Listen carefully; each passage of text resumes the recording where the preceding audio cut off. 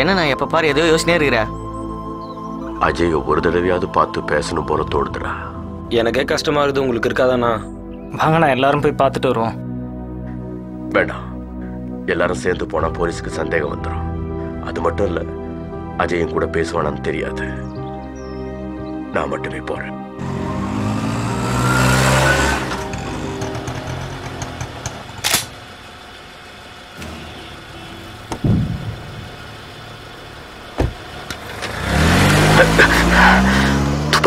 சொன்னவன் இங்க என்ன பண்றான்?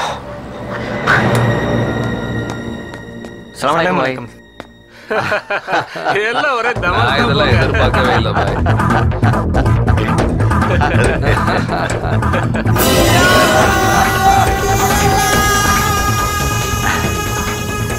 பத்து கோடி அட்வான்ஸ் பாய். இது போட்டு தள்ள வேண்டியவங்க லிஸ்ட் வேலை முடிஞ்சோன்னா அன்வர் பையன் நேரா வராராம். நம்ம ட்ரக் பிஸ்னஸ்க்கு பார்ட்னர்ஸ் எல்லாம் மும்பைல இருந்து வராங்க. சரக்கெல்லாம் கொஞ்சம் சாலிடா இருக்கணும் பாய். அவர் யாரு? இவர் முகர்ஜி. நம்ம மும்பை பார்ட்னர் மும்பையில் போலீஸ் கெடுபிடி ஜாஸ்தி. அதனால கள்ள நோட்டை சிங்கப்பூருக்கு ட்ரான்ஸ்ஃபர் பண்ணிட்டு இருக்காரு. கள்ளநோட்டா? அப்ப எங்க மாமாக்கா தான் கொடுத்தீங்களா? பாய்கிட்ட விளையாண்டா பரலோகம் எங்களுக்கு தெரியாதா? காசிம் கிட்ட டீல் பண்ணும்போதே பார்த்தனே பாயோட பவர் எவ்வளோன்னு தெரிஞ்சது. அன்னைக்கு நீங்க ரிட்டர்ன் டிக்கெட் கொடுக்கும்போது அதுக்குள்ள ஆந்த்ராக்ஸ் ஏதாவது இருக்குமோன்னு பயந்துட்டேன் பாய்.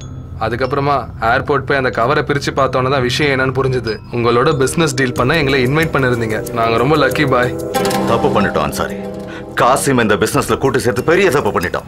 நீ சொன்னங்கிற ஒரே காரணத்துக்காக தான் நம்ம கூட அவனை சேர்த்துக்கிட்டேன். சிட்டியில் அவனுக்கு இருக்கிற ஏதோ பவரை வச்சு நமக்கு இந்த சில்லற வேலையெல்லாம் பண்ணுவான்னு தான் நானும் நம்பினேன். ஆனா அவனை நம்ம கூட சேர்த்ததுக்கு இப்ப நான் வருத்தப்படுறேன். இது சாதாரண பிசினஸ் இல்லை. நாம எப்பவும் ஜாக்கிரதையா இருக்கணும். இந்த மாதிரி டீலிங் எல்லாம் டெல்லியில தான் வச்சுக்கணும். பாண்டியன் இல்லைங்கிறதால தான் உன்னை இங்க வர சொன்னேன். நீங்க கூட அந்த பாண்டியனுக்கு பயப்படுறீங்களே பாய்? ஹே பயம் இல்ல அன்சாரி. நடிப்பு. பல வருஷமா இங்க இருக்கிற ஜனங்கள்லாம் என்ன ஒரு கடவுள் மாதிரி பாக்குறாங்கன்னா அதுக்கு ரெண்டு காரணம் இருக்கு. பாண்டிய என் மேல வச்சிருக்கிற நம்பிக்கை. அந்த நம்பிக்கை மேல ஜனங்களுக்கு இருக்கிற நம்பிக்கை. இங்க நாம தொடர்ந்து ஜெயிக்கணும்னா விசுவாசமா மட்டும் இல்ல காவல் நாயாவும் இருக்கிற பாண்டிய மாதிரி ஆளுங்க நமக்கு தேவை. அந்த காவல் நாய்க்கு நம்மள விட்டா வேற கதி எங்க இருக்கு? கொஞ்சம் வருஷத்துக்கு முன்னால கிரானைட் பிசினஸ்க்காக மதுரை பக்கத்துல ஒரு கிராமத்துல இருக்கிற குடிசைங்களை காலி பண்ண சொன்னேன்.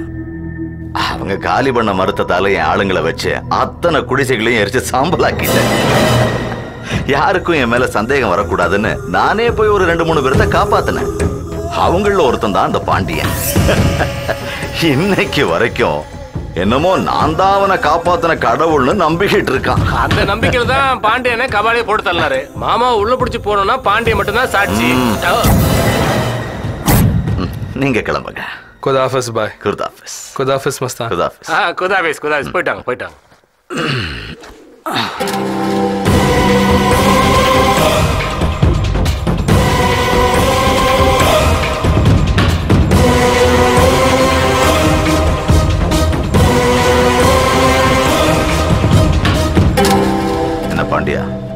ஆச்சரியமா இருக்கா?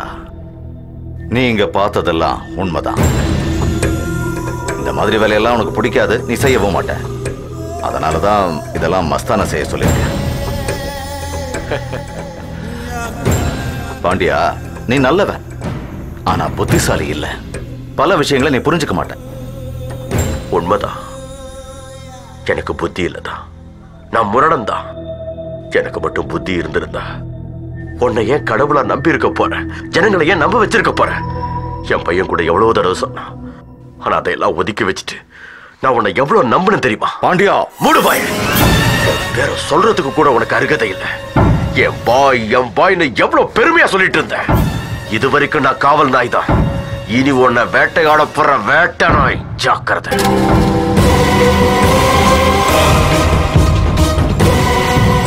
உங்களுக்கு யாரை பத்தியும் கவலை இல்லை. உங்களுக்கு வேண்டியதெல்லாம் பாய். கண்டிப்பா உங்களுக்கு அந்த ஆள் நன்றியா இருக்க போறதில்ல. இப்ப பாண்டியன் போலீஸ்கிட்ட போயிட்டா என்ன செய்யறது? ஹலோ. காசிம் நான் தான். சொல்லு பாய். பாண்டியனுக்கு எல்லாம் உண்மையா தெரிஞ்சிருச்சு. வெறி பிடிச்ச நாய் மாதிரி இங்கிருந்து போயிருக்கான். அந்த வெறி நாய் நம்ம மேல பாயறதுக்குள்ள அதை கொன்னு போடணும்.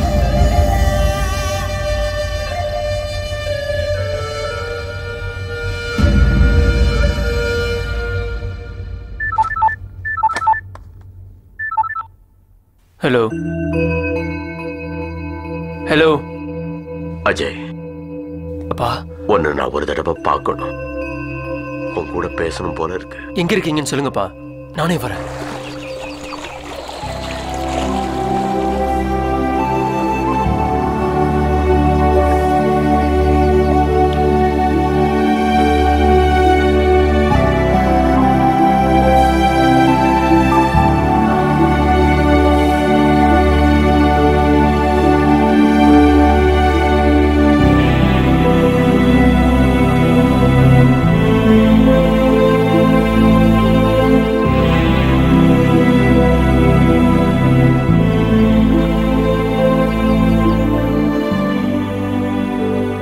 என்னப்பா அப்படி பாக்குறீங்க?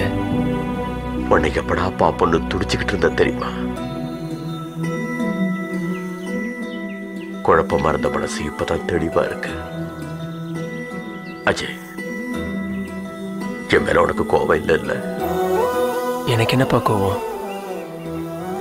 என்னால நீ நிறைய அவமானப்பட்டிருக்க. சின்ன வயசுல இருந்தே நீ கேள்வி கேட்கும் போதெல்லாம் நான் ஏதாவது பொய் சாக்கு சொல்லி சமாளிச்சிருக்கேன். ஆனா நீ கேட்ட ஒவ்வொரு கேள்வியும் ரொம்ப கரெக்டா அஜய் நான் தான் சரி நினைச்சு தப்பு பண்ணிட்டேன். இல்லப்பா நீங்க எப்பவுமே நல்லவர் தான். நீ நல்ல புள்ளையா இருக்கிறதால தான் இப்படி பேசுற. கடவுள் தப்பு பண்ணிட்டான். ஒன்னா அப்பாவாவும் என்ன மகனாவும் படைச்சிருந்தா தப்பான வழியில போகாம இருந்திருப்பேன் அஜய் சேச்சே என்னப்பா சின்ன பிள்ளையாட்டம்? ஆமா.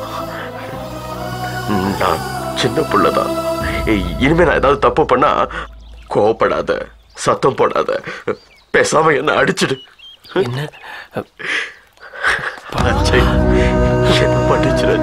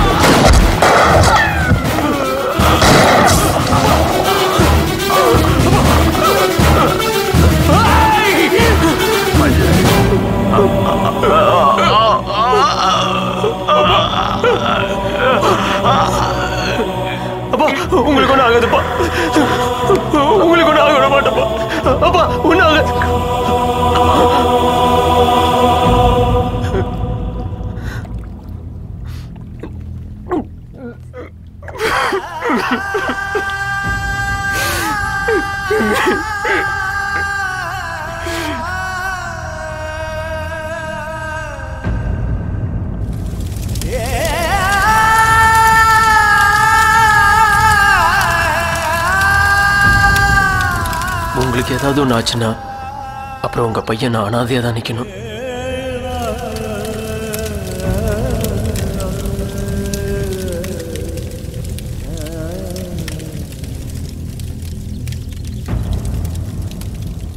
அஜய் உனக்கு எப்போ எது தேவைப்பட்டாலும் நான் இருக்கேங்கிறத மறந்துடாத.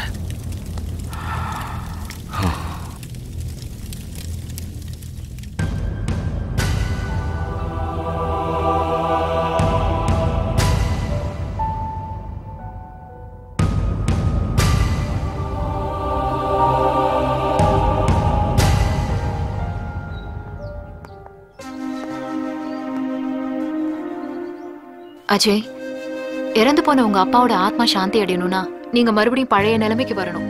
உங்க ஃபியூச்சரை பத்தி கொஞ்சம் யோசிச்சு பாருங்களேன். ஆமா அஜய் மம்மி அவங்க ஃப்ரெண்ட்ஸ் கிட்ட பேசிட்டாங்க. மறுபடியும் உன்னோட இன்டர்வியூக்காக அரேஞ்ச் பண்ணியிருக்காங்க. நீ போய் தான் ஆகணும். துக்கமும் சந்தோஷமும் எதிர்பார்க்காம தான் வரும். அதிர்ஷ்டம் இப்போ உங்களை தேடி வந்திருக்கு தம்பி.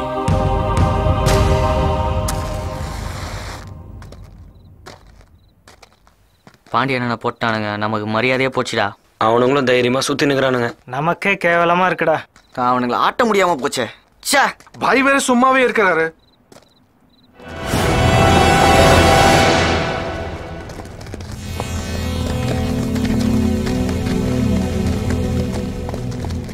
டேய் பாண்டியனோட எடுப்புங்கடா.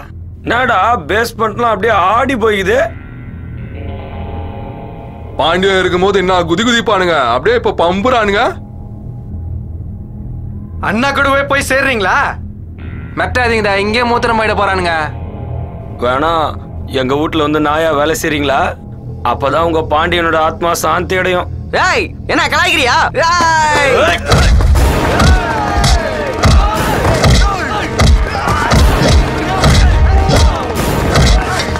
பயமாகுதா? கூப்பிடுறா உன் அண்ணன் பாண்டியா. கூப்பிடுறா?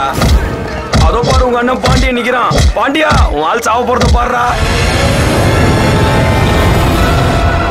என்ன வருவானா? பாண்டிய வருவானா? வர சொல்றா கூப்பிடுறா. வர சொல்றா பாத்துக்கலாம் ஏய் என்ன வந்து என்ன பிடிக்கிடுவானா என்ன பாக்குற வர சொல்றா.